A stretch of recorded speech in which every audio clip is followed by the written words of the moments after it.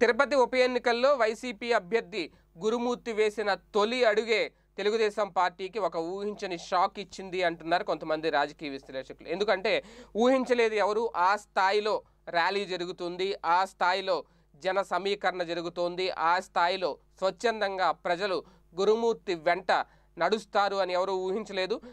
ఎందుకంటే తొలి అడుగు అంటే తొలి ఆయన వేసిన నామినేషన్. నామినేషన్ పర్వం ఎంత అట్టహాసంగా జరిగిందో నిజంగా ఎవరు ఊహించలేదు. అలాగని ఇదంతా ఏదో ప్రజల్ని కావాలని డబ్బులు ఇచ్చి తీసుకొచ్చింది అయితే కాదు. వాళ్ళకి వాళ్ళగా స్వచ్ఛందంగా వచ్చి పాల్గొన్నారు అనేది. ఆల్రెడీ మంత్రి అనిల్ కుమార్ గారు అక్కడ చెప్పడం జరిగింది. తిరుపతి స్థానానికి నామినేషన్ వేసిన సమయంలో జరిగిన ఆ కార్యక్రమం అందులోకి ఏడుగురు మంత్రులు పదిహేను మంది ఎమ్మెల్యేలు భారీ ఎత్తున పెద్ద పెద్ద నాయకులు అంతకమించి కార్యకర్తలు. వీళ్ళందరూ గురుమూర్తి గారి వెంట నడవడం నిజంగా చంద్రబాబు గారు కానీ టీడీపీ నాయకులు కానీ ఊహించని పరిణామం అంటున్నారు కొంతమంది. ఎందుకంటే టీడీపీ తరపున టీడీపీ అభ్యర్థి పనబాక లక్ష్మి గారు నామినే నామినేషన్ దాఖలు చేస్తే ఎక్కడ అంత అట్టహాసం కనిపించలేదు. ఒక పది మందితో ఏదో వెళ్ళి నామినేషన్ వేసి వచ్చేసారు తప్ప ఎక్కడ పార్టీ అధినేత కానీ ఆయన కుమారుడు కానీ ఎక్కడ రాలేదు. స్థానికంగా కూడా ఏదో ఒకళ్ళిద్దరు నాయకులు ఉన్నారు తప్ప కొంతమంది నాయకులు సీనియర్ నాయకులు.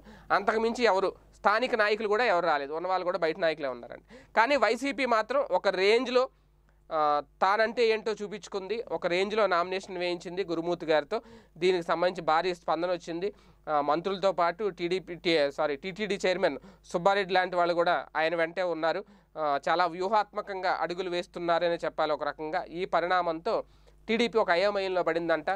తొలి స్ట్రోకే గట్టిగా తగలడంతో ఎలా ముందుకు వెళ్ళాలి ఇక నుంచి ఏంటి అనేది ఒక రకంగా అర్థం కావట్లేదంట. తెలుగు తమ్ముళ్ళలో ఒక ఊహించని గుబులైతే పుట్టుకుంది ప్రస్తుతం ఉన్న పరిస్థితుల్లో అనేది ప్రధానంగా తెర మీదకి వస్తున్న అంశం.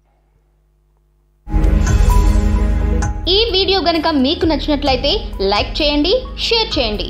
మరిన్ని వీడియోస్ కోసం మా ఛానల్ను సబ్స్క్రైబ్ చేయండి.